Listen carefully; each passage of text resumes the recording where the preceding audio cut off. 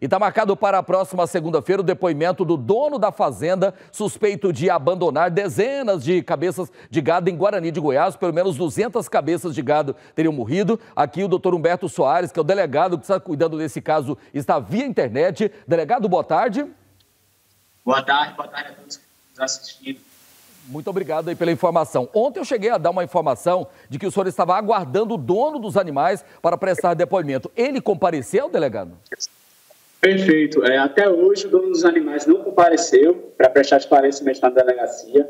Ele já deixou de atender as solicitações da polícia por duas vezes, mas eu consegui contato com a advogada dele e ele está certo de vir aqui na segunda-feira, às 10 horas da manhã.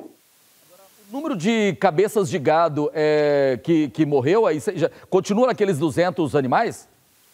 Até, até presente momento, nós certificamos que 130 animais morreram, mas é, pelos trabalhos que todos os órgãos de segurança pública e a Secretaria do Meio Ambiente fizeram lá na, na fazenda, nós temos uma estimativa de que 200 animais é, possam ter perecidos por conta de más condutas do proprietário, que não proveu a alimentação devida a esses gados.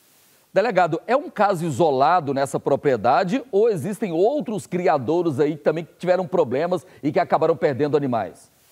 Não, é um caso isolado, não tivemos problemas nesse sentido aqui na nossa região.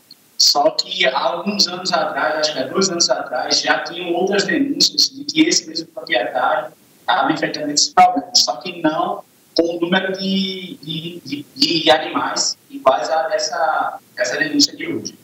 É, a gente continua acompanhando, então, a investigação. Quero agradecer o delegado Humberto Soares aí que está falando com a gente sobre esse caso de Guarani de Goiás. Delegado, obrigado, obrigado aqui pela participação. A ligação não está muito boa, mas deu para a gente compreender o trabalho que a polícia está fazendo aí e a gente continua acompanhando para ver se na segunda-feira o dono desses animais comparece aí para é, prestar o depoimento. Boa tarde, delegado.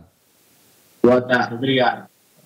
O que não dá para entender, né, Elias? É, 200 cabeças de gado, o Elias fez as contas que isso dá um torno de um milhão de reais. Agora, peraí, numa crise dessa, o mercado está superaquecido para a venda de animais. Você vai deixar 200 cabeças de gado, 200 animais morrerem? Não era mais fácil vender mais barato, fazer uma liquidação, fazer alguma coisa? É estranho, né? O comportamento desse criador é, é verdade. muito estranho mesmo, né? É muito estranho mesmo.